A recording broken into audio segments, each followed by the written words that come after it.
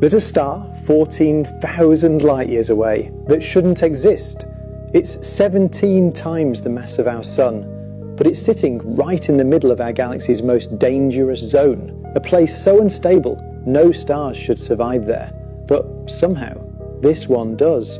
Scientists call it the impossible star. They say it breaks every rule of how stars are formed. Its gravity should have torn it apart. Its radiation should have collapsed in seconds, but it shines every single night.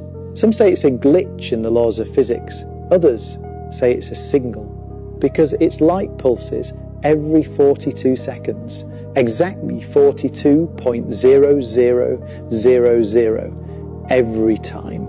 Mathematicians found something strange. That number matches an ancient code found in pyramids across Earth. Coincidence? Or something bigger watching us? And if this star breaks physics, maybe our whole reality isn't what we think it is.